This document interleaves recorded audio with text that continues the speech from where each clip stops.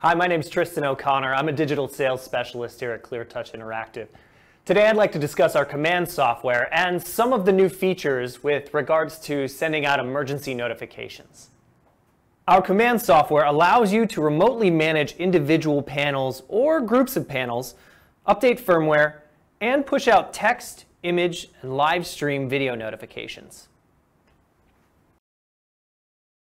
And now we've developed an open source API to allow external security systems to communicate and relay emergency notifications to our family of displays automatically via our command software.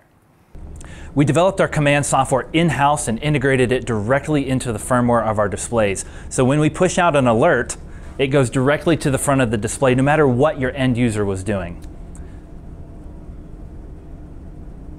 If you'd like more information on our command software and how we're pushing out emergency alerts and notifications, go to getcleartouch.com and sign up for a live online demo.